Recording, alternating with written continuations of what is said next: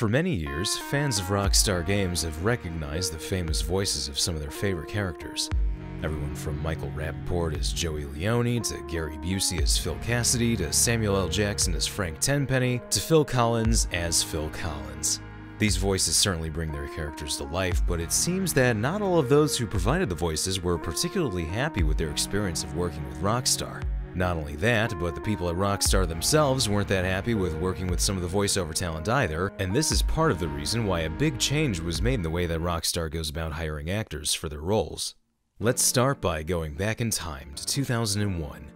Grand Theft Auto 3 was well into production, and it was time to begin hiring voice actors for the characters in this video game. They wanted to use celebrities in the game and hired everyone from Michael Madsen to Kyle MacLachlan to Frank Vincent, who had previously been in films like Goodfellas and Casino.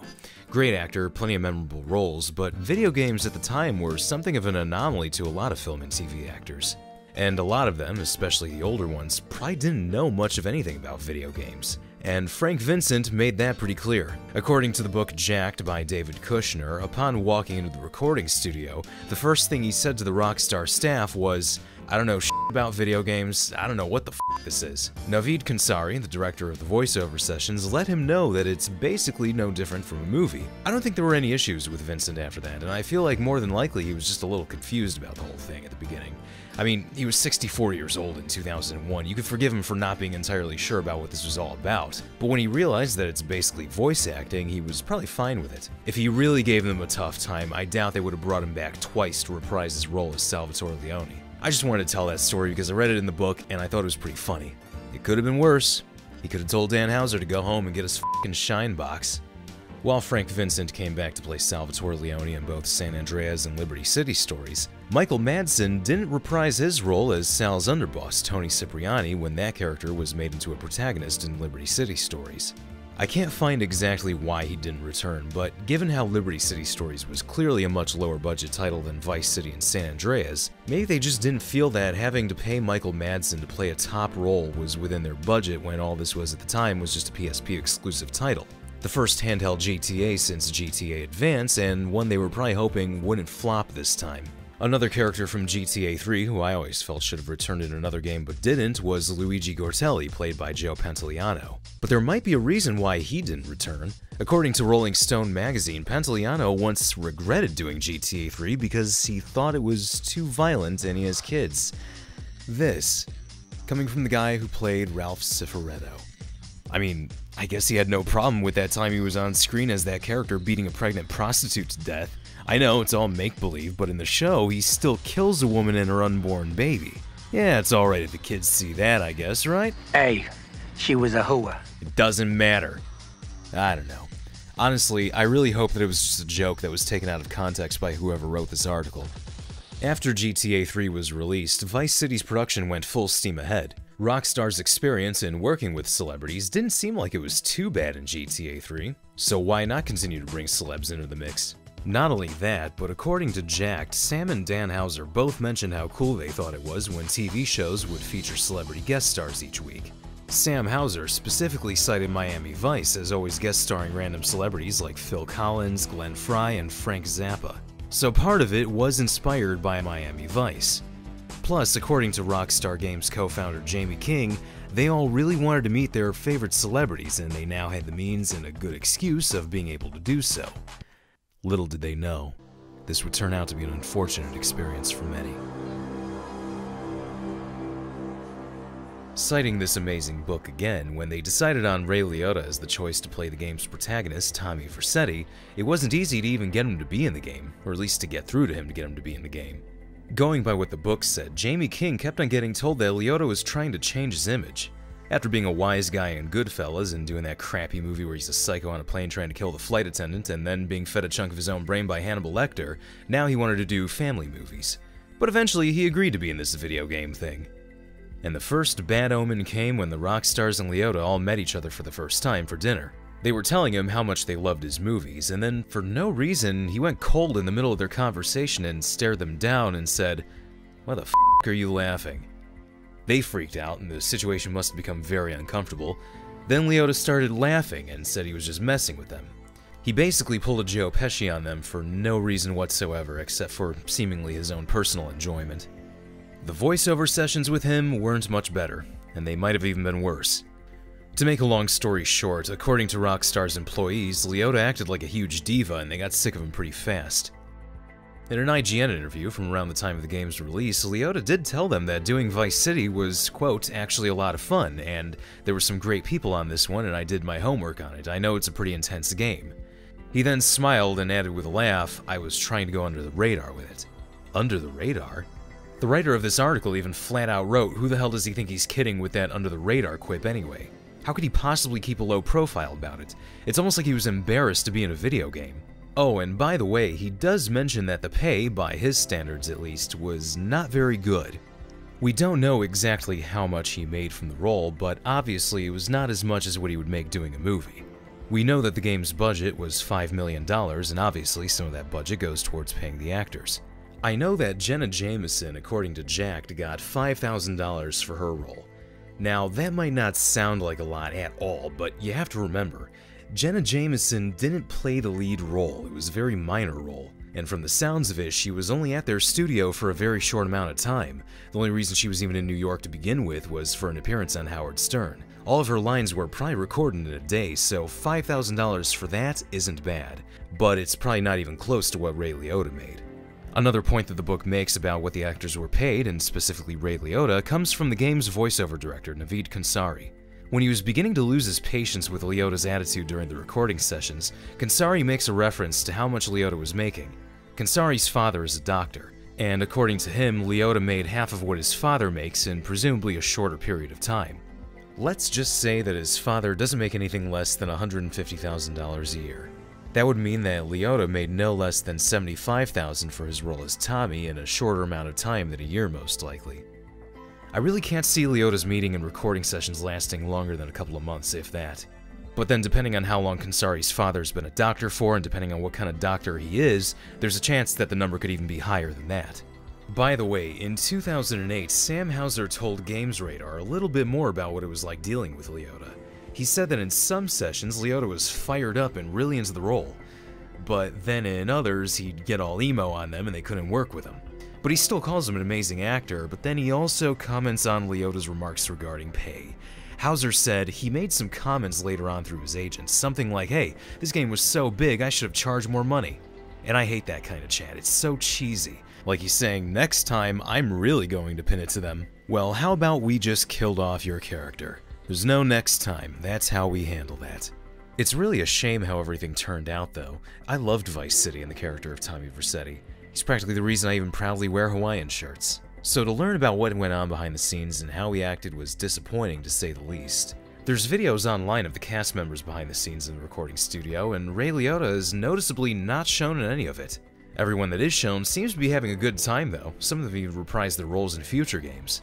Like with Frank Vincent in GTA 3, I doubt they would have returned if they didn't get along with the staff. It doesn't seem like anybody had a great time working with Ray unfortunately.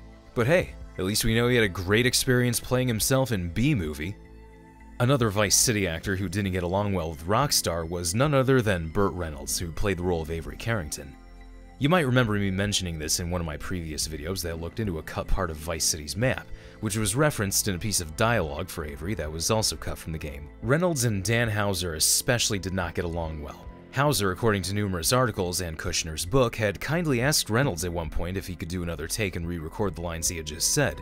A completely innocent thing that I'm sure happens a lot in the world of voice acting. Reynolds, however, seemed to take offense at this and proclaimed that Houser needed to give him an attaboy before he was asked to do anything again. I can just imagine Houser, Khonsari, and whoever else from Rockstar was present not knowing what the hell this guy was even talking about, but it got worse. Eventually, a misunderstanding about a new shirt being delivered to Reynolds by his manager after he sweat through the old one had caused him to basically flip out on Dan Houser, telling him, there's gonna be two hits here, me hitting you and you hitting the floor. Houser, by this point, completely lost his patience with Reynolds and wanted to cut him from the game entirely, and presumably bring somebody else into play Avery instead. But Khonsari intervened and told Houser, we got the performance, he's a total cock, but let's move on. Little wonder why when Avery Carrington returned in Liberty City stories, it was a non-speaking role, the character gets killed off, and then even his death is mocked. You get the impression that they really didn't like Burt Reynolds even three years after they last had to work with him, and they were obviously not about to ask him to come back. In 2018, Vulture had an article about the making of Red Dead Redemption 2, and while interviewing Dan Houser about the game when they were inside Rockstar's recording studios, Houser brought up Reynolds again. Apparently, Reynolds at one point yelled, Get the limey out of here.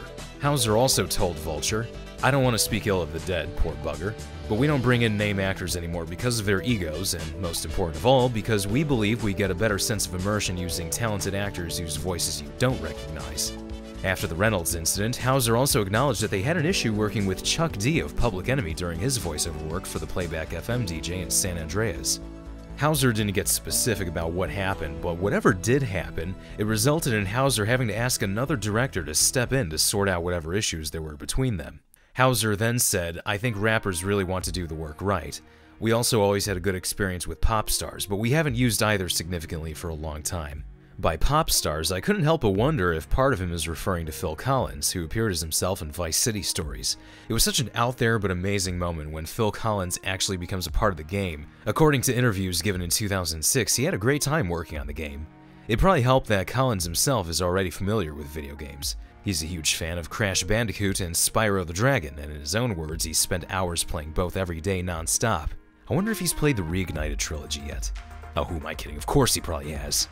By GTA 4, Rockstar did pretty much stop using Hollywood talent to play major roles in the story. Famous people were still in the game, but in smaller roles. Iggy Pop, Juliette Lewis, Karl Lagerfeld, among others, played radio DJs, and Ricky Gervais appeared at the comedy club. The game's protagonist, Niko Bellic, was played by Michael Hollick, and obviously we know that afterwards there was some controversy regarding his pay and status with Rockstar. It all originated from a New York Times article published almost a month after the game was released. According to the article, Hollick was paid $100,000 for 15 months of work between late 2006 and early 2008. This work included both voice acting and motion capture. Now, $100,000 is by far no small amount, especially for an aspiring actor like Hollick, who had been working various retail jobs at places like bagel shops and department stores in between small acting gigs prior to playing Niko. But by the time this article was written and published in May of 2008, the game had already made $600 million. It's a huge amount of money compared to 100,000, and Hollick, nor any of the other actors in the game, saw any of it because of contracts between the Actors Union and the entertainment industry that at the time made little to no provisions for electronic media such as video games or anything on the internet. So you might be wondering, well, gee, who's at fault here? The Actors Union for their crappy contracts to begin with and not understanding the video game industry? Or maybe Rockstar for not trying harder to make sure everyone can continue to benefit off the work they put in and enjoy the fruits of their labor a little more. Here's what Hollick had to say. Obviously, I'm incredibly thankful to Rockstar for the opportunity to be in the game when I was just a nobody, an unknown quantity. But it's tough when you see Grand Theft Auto 4 out there as the biggest thing going right now, when they're making hundreds of millions of dollars and we don't see any of it. I don't blame Rockstar. I blame our union for not having the agreements in place to protect the creative people who drive the sales of these games. Yes, the technology is important, but it's the human performances within them that people really connect to, and I hope actors will get more respect for the work they do within those technologies. The article goes on to say that Rockstar declined to comment, but that this is something that has been an issue for a while in the video game industry. Interestingly, Hollick also told the New York Times that he had asked about the possibility of getting residuals when they were negotiating the contract, but that he was told that this wouldn't be a possibility. Now, I'm not an expert on actors' unions, but it seems like that's what Hollick is blaming. Not Rockstar Games, but his own union. If he felt that Rockstar had ripped him off or underpaid him, he wouldn't have said that he's not mad at them, would he? I know some of you might ask, well, if it's impossible for Rockstar to pay him royalties, couldn't they just give him more than $100,000? And my answer to that would be I don't know. Maybe they could have, maybe they wouldn't. If anyone watching this does have any familiarity with how actors' unions and negotiations work, do let us know what could have possibly been done differently, if anything could have been done differently.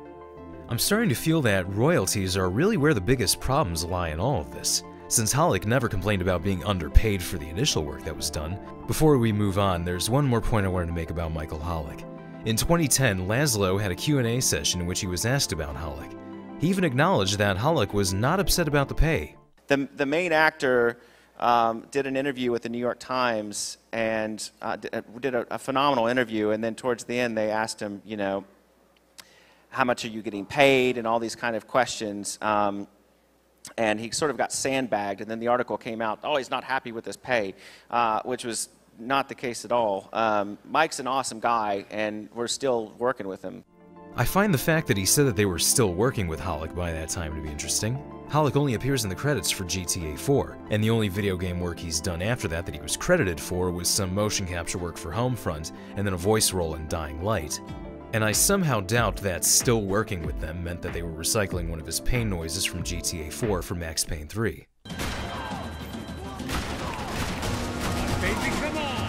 If Lazlow's claim is true, then whatever they wanted to work with him on clearly never materialized. Lazlow also said that he doesn't feel sorry for many actors who come in wanting to be treated like royalty, because the real stars, according to him, are the people working behind the scenes, and that people aren't playing a video game just for an actor. Lazlow then goes on to say that Hollywood simply can't get around the fact that video games are different. His response is really interesting. In fact, the entire Q&A is, and I put a link to the full video in the description. Now let's move on to one final person who voiced a very prominent role in GTA San Andreas, Young Maylay. I'm sure by now many of us have seen the comments he posted on his Instagram page about his feelings for Rockstar. He doesn't really go into detail about exactly what the hell the problem is 15 years after San Andreas, but he does keep on ranting and arguing with people and being oddly aggressive. Now, in one of the comments, he accuses Rockstar of being culture vultures from London who make billions of dollars, and that nobody they work with, himself included, has seen 10% of that. Does Maylay's issue have to do with royalties as well? If so, you might be asking now, is there a reason why he came out about this now and not 15 years ago? I mean, Ray Liotta and Michael Hollick both made their frustrations clear within a month of each game's release. But that's not to say that young Maylay didn't have issues with them for a while either. In a post he made in August of 2019, he still refers to them as culture vultures. He may have still had his own issues with them for a long time, but he just chose to not be public about it until recently. Young Maylay isn't being any more specific on what exactly his problem is with them, other than he really wants people to know how much he hates them. Could something have happened recently that set him off? My own suggestion would be that maybe young Maylay just finally got pissed off after all these years of people calling him CJ or asking him about CJ or making CJ related comments almost every day. Seriously, just look at any video of his on YouTube or anything he posts on social media. 90% of the comments left for him are about CJ or some kind of reference to San Andreas. Everywhere you look, CJ, CJ, CJ, CJ, CJ, CJ, CJ, CJ, CJ. Oh, here's an innocent comment. Oh, never mind. It's like for every 100 comments, there's maybe three that actually care about his music. And it's just as bad on Instagram. He made a post on the birthday of someone he knew, hip hop producer and DJ Crazy Toones, who passed away a few years ago, and the first comments you see are San Andreas memes. He posts a picture of a dog, and Big Smoke somehow gets pulled into the conversation too. Maylay's cousin, Shawn Fonteno, did a recent Instagram broadcast where he explained that at a lot of conventions he attends, he gets lobbed all these questions by people asking him about GTA 6 and how he basically just gives them what they want to hear, even though he himself has no knowledge of anything that Rockstar is doing. And when they ask me about GTA 6 and they say, you know, are you coming back in it or are you gonna be in it? If you guys really listen, listen. If y'all really listen to the to the interviews and it'd be a jokingly. I would love to be in GTA 6. Hell yeah. You know what I'm saying? And what y'all think about, you know, CJ might come back. You know, and blah blah blah this and blah blah that. We're gonna come back and take over um, Grove Street. You know, them be just me just speaking out, having fun with the crowd, interacting giving them what they want to hear, but also giving them, you know, the the uh, whatever the it is. But I'll just be having fun, man. Fonteno's just playing with the audience, who takes it literally, and then every other blogger and YouTuber just picks it up, runs with it, and makes breaking news CJ returning for GTA 6 videos. Which probably led to even more people flooding Maylay's inbox, bugging him about something that's completely irrelevant to him. I got up this morning just to speak on this because I want y'all to stop it, man. Leave Maylay the f- alone, man. Leave him alone, man. Let him live, man. He all right. He venting on some shit that he had in him for a long time ago. It ain't for me to speak on what it is. Maybe he'll get on his live and speak on it. And maybe he won't. I hope he don't because, like I said, he he might, you know, he's still a little more active than I am. So he might say some shit he might regret again. But leave the man alone, man. You know, y'all filling his DM up with all this sick shit. And then y'all putting shit on YouTube where when I did some shit at, in Brazil And I said, yeah, you know, CJ might be coming back two to the six, man. You know, man, listen to the words that I say before y'all start taking them and chopping them up. It say might. And yeah, I would love it. Yeah, I have no knowledge of DLC. I have no knowledge of online content. I have no knowledge on what the Rockstar is doing in their office, their time, in their building, their writers, their programmers. I have zero knowledge. They don't tell me And there you have it. The many different voice actors who have worked with Rockstar and the opinions that they and those within Rockstar are known to have of each other. For some, it's fairly obvious what the issues are. In the case of Burt Reynolds and Ray Liotta, I think they were just too Hollywood for it, and they probably saw doing video game voice work as being beneath them. They simply weren't fun to work with. For Michael Hollick, I think his issues mostly had to do with royalties and the actors' unions, not with Rockstar or what they paid him initially. Of course, immediately afterwards, everybody gets the impression that he just hates Rockstar and that they must have paid him next to nothing for his role, and this is the narrative that seemed to stick for a long time. And with Young Maylay, it probably had to do with both the lack of royalties and maybe the fact that he's getting bugged by people nonstop about stuff he doesn't know or care about. But we're just going by what we can see, we don't really know. However, it does seem like there is an issue with royalty payments for video game voice actors, or the lack of royalty payments for video game voice actors. Like I said, this is a really difficult issue, and it's one that still isn't over. In 2016, video game voice actors went on strike against almost a dozen video game developers and publishers, including Rockstar's parent company, Take Two Interactive. The strike was over a failure in contract renegotiations and that the voice actors and motion capture actors should be paid residuals after a game is released. The strike went on for almost a year and it became the longest strike in the Screen Actors Guild's history. There's also clearly two separate points of view at work here. One point of view is that the people who do the programming, modeling, and other development work are the true stars of the game, the ones who deserve the most recognition for their hard work, which can often involve long, stressful hours and weekends spent at work. The other point of view is that the actors who portray the characters in the game bring these characters to life, and that they're just as deserving of recognition for the artistic side of the game as the programmers are for the technical side. What do you guys think about all of this? Thanks for watching. I'll see you next time. By the way, I now have a Patreon page, so if you'd like to donate and support this channel further and get a few other special perks, I've added a link to it in the description below. Thank you.